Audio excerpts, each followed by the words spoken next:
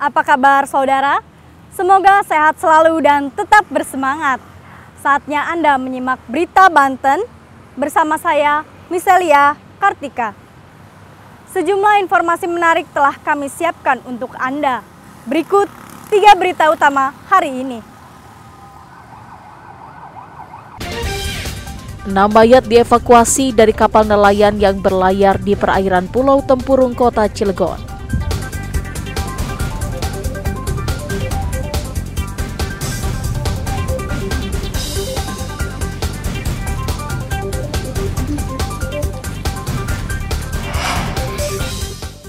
Gagal mencuri motor, pelaku ditangkap warga dan polisi.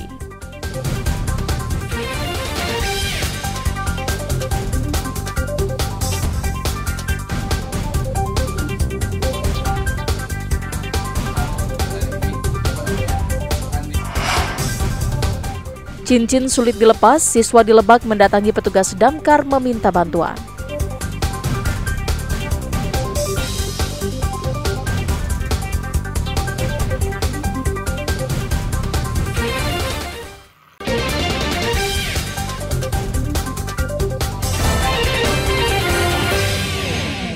Enam anak buah kapal meninggal dunia saat berlayar menggunakan kapal motor Sri Mariana. Kenam korban dievakuasi di dermaga Pol Air Polda Banten yang berada di sekitar Pelabuhan Merak. Saat proses evakuasi, sejumlah petugas menggunakan pakaian khusus pelindung diri untuk mengantisipasi hal-hal yang tidak diinginkan.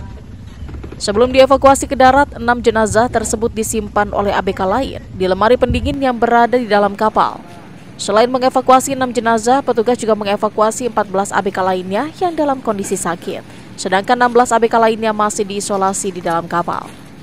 Polisi dan petugas kesehatan masih melakukan observasi terhadap para nelayan yang berangkat dari Sibolga, Sumatera Utara menuju Teluk Jakarta itu. Menurut Kepala Balai Kekarantinaan Kesehatan Kelas 1 Banten, 6 ABK meninggal dalam waktu yang berbeda saat berlayar di sekitar perairan Samudra Hindia. Ini berasal dari Samudra Hindia mereka berawal dari berangkat dari Sibolga menuju Samudra Hindia selama 9 bulan di sana mulai Oktober dan sampai di sini bulan Juli. Nah di bulan Juli inilah eh, terdapat ada yang meninggal, ada enam orang yang meninggal, eh, tujuh orang sakit, 16 eh, masih eh, kita observasi. Jadi bertambah lagi sekarang ada 14 orang yang ada di sudah di rumah sakit. Petugas juga saat ini telah mengambil sampel darah dari seluruh ABK untuk meneliti penyebab pasti meninggalnya para nelayan. Ariel Maranus dan Aji Ramadan melaporkan dari kota Cilegon.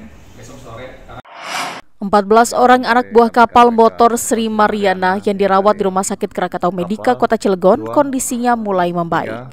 Sebelumnya, mereka menjalani perawatan intensif dari petugas medis usai dievakuasi dari kapal pencari ikan yang berangkat dari Sibolga, Sumatera Utara.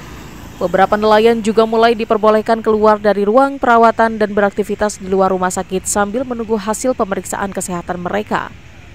Menurut salah seorang anak buah kapal motor Sri Mariana yang berasal dari Kabupaten Lebak, mereka sebelumnya mengalami gejala sakit bagian sendi sampai kaki hingga mengalami sesak nafas yang mengakibatkan enam orang rekan yang meninggal dunia saat perjalanan menuju Teluk Jakarta. Mereka secara bergantian saling menolong rekannya dengan obat-obatan yang minim. Kak, sakit, bisa menyerang ke sesak napas. Tapi yang saya herankan, yang sehat kok dengan penyakit yang sama sesak napas langsung meninggal. Alhamdulillah kalau sakit ya kalau saya Kang, informasinya kan Akang sempat dirawat juga. Nah, kata dokter itu apa? Atau ada obat yang khusus dikasih untuk Akang? Nah, kalau saya kan ingin mengetahui apa sih penyebab dan penyakit yang dialami jenazah sehingga korban-korban ini sampai meninggal.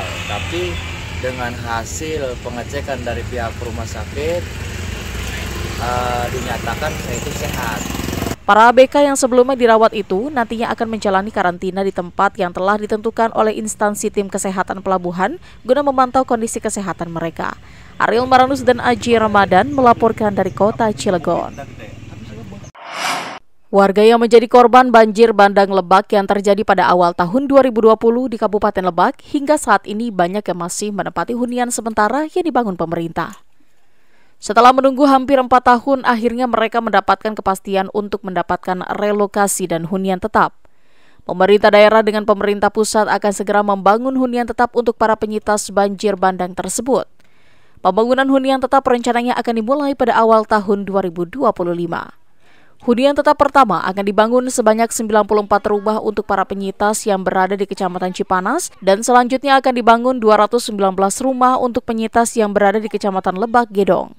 Hunian tetap akan didirikan di atas lahan seluas 2 hektar yang telah disiapkan untuk relokasi warga terdampak banjir bandang. Selain rumah, ada sejumlah fasilitas umum dan fasilitas sosial yang akan dibangun. Uh, dapat disampaikan memang untuk yang Cipanas itu uh, kita uh, dari awal sudah menganggarkan untuk pembelian lahan, kemudian penataan tapi karena yang akan membangun rumahnya adalah dari Kementerian PU mereka, mereka menginginkan adanya upgrade atau pematangan lahan yang sesuai dengan kualifikasi dari uh, atau standar dari Kementerian PU.